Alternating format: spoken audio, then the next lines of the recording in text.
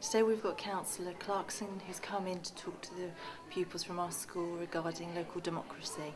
He's here as part of Local Democracy Week and the children are able to ask him questions that concern them about the local area. What sort of rough age are you? What's this age group roughly?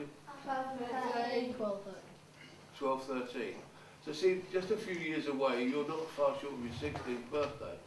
Two or three years away, and that's when you'll be moving in, getting ready to vote. But just being a little bit aware of these things, all I want to do today is to try and say to you uh, that there is, everything that you do in life is affected by politics of some sort or another.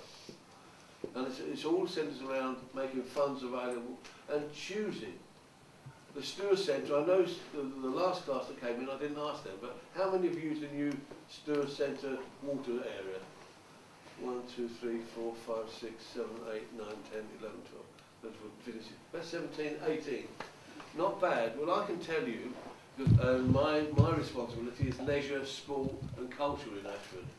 And therefore I know about the uh, leisure centre, Ashford Leisure Centre.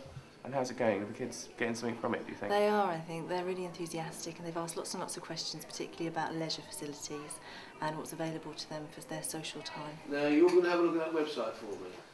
Yeah. Promise me? Yes. Going to have a look at it. Yeah, that's a good answer. I don't see why not. Exactly right. Nothing to lose. Quite right. Good comment. Nothing to lose.